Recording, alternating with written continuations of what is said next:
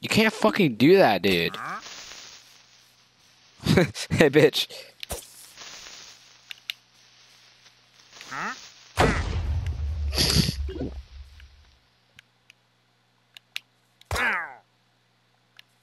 Fucking idiot.